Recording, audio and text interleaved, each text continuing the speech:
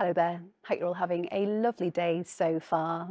So spells of wet and windy weather at times as we go through the next few days. For today, we can see in the satellite and radar picture from earlier, we started off with quite a bit of rain and blustery winds across southern parts, but this rain is now clearing its way south and eastwards. And as we go through the rest of the day, well, maybe a little bit of brightness around at times across parts of Scotland and northern Wales, but for most of us, we stay tucked underneath a lot of cloud throughout today and quite a fresh feel to things too, with highs there anywhere between 7 and 10 degrees and 14 degrees across the Channel Islands. Now, by the end of the day, we have got the next system working its way into western parts, bringing cloud and outbreaks of rain, and that is going to spread its way eastwards as we go through tonight. So there could be some heavy downpours for a time, but it will move out of the way and behind it, we'll see a mix of clear skies and showers. But of course, where we do get the clear skies tonight, maybe some pockets of mist and fog out there, turning chilly with a touch of frost in places too.